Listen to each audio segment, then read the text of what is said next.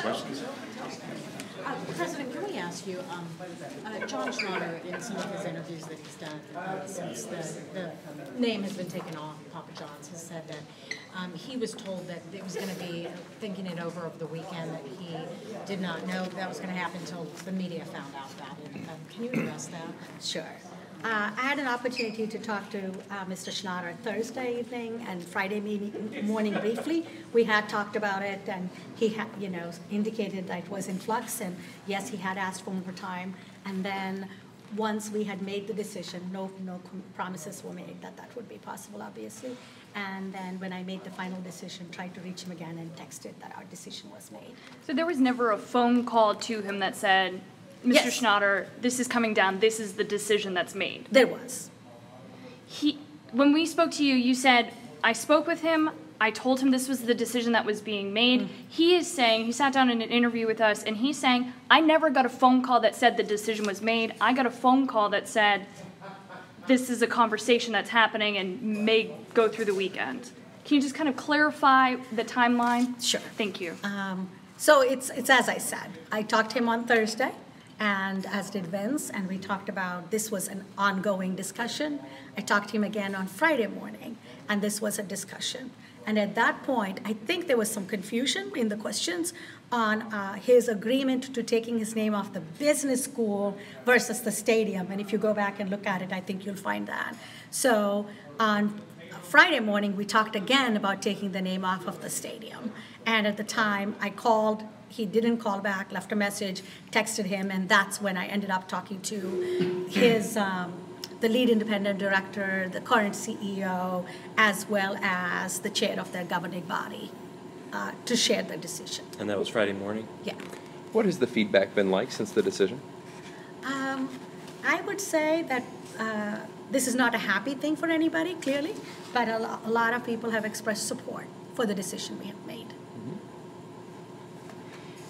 Vince, what has this been like from an athletics department side? What have you heard from coaches in the department? What have you heard from student athletes at the university? What, where's everyone, you know, where's their head at? Well, I think, you know, some of the athletes expressed their concern right away, and, and I wasn't certainly looking to dispel that or, or to stop them from voicing their concern. I just wanted to make sure they were clear that the administration was involved and would handle it to the, what's uh, in the best interest of the school. So that was the only thing I conveyed to them, conveyed to Bobby. You know, I talked to Coach Petrino Thursday morning after I'd spoken to John. And, uh, and I think we've done that. I think they showed that faith and, and everything worked out as they probably expected. But the coaches have been supportive, um, you know, and talking to Chris Mack and uh, Jeff Walz, I think, uh, as well, that uh, they've been supportive of where we are. Has Mr. Schnatter brought any kind of legal action forward to the university? Is that a conversation that's been had regarding the contract for the naming rights? No. No. He said he'd like to apologize to the players himself in person. Is that something you guys would be willing to let him do? Well, I think at this time, I, I want the players to kind of heal a little bit. I think that uh, trying to rush to something right now, and particularly as some of those facts are being sorted out, it's, it's a little difficult to do that.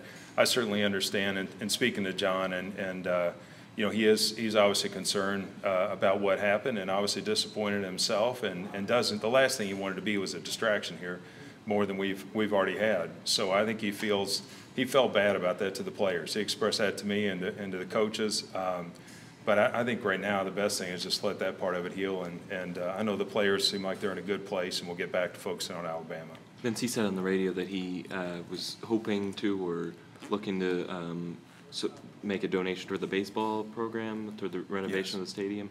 Will you, are you in con, are you in contact with him on that? Will you accept that?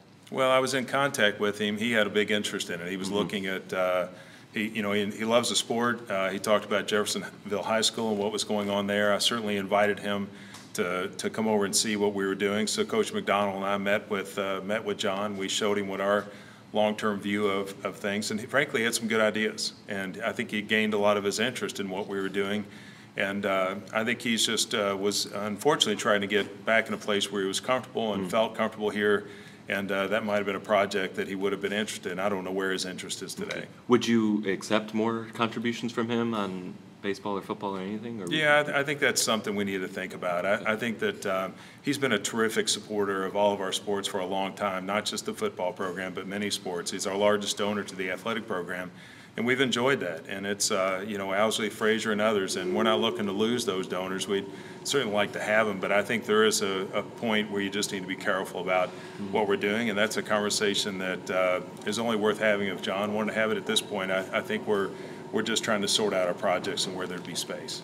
Is there any timeline on the removal of the signage at this point? Has that been established yet? Yeah, I think we're working on that today. As you can imagine, uh, most of those suppliers or vendor were off this weekend, so we weren't able to get a timeline, but we're, we're doing that today.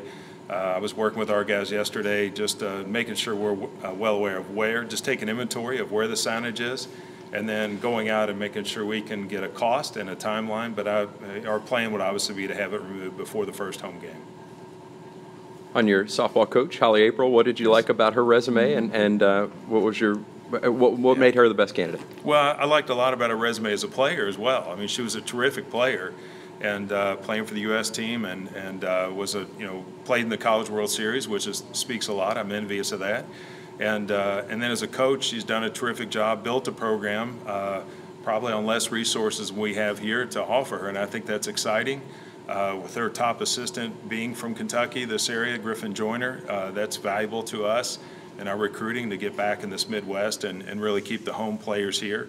I think that says a lot. And then just in our own conference to be competitive right away and, and that it cuts down on the scouting when you've been the ACC Coach of the Year in this conference just last year and winning the Coastal Division. So bringing that to our team, I know our players are really excited. I can speak for, you know, some of the donors as well and supporters and alumni that there's a lot of excitement in the program today. To, to hire a, a sitting head coach from in the same conference at another school, that's, you, you consider that a pretty significant win considering how, you know, where, where she's made that prog, where she's built that program and getting her to come over here? Well, I think so. I hope you do too. uh, no, I, I do. I, in all fairness, uh, you know, to be able to go get the, you know, coach of the year, I think says a lot. And I, it is in the conference. And while sometimes that may seem a little uncomfortable, I'm, I'm competitive. I want to win. And they have something we wanted, and we went out and got her. Thank you all. Thank Thank you very much. Thank you very much. Thank you.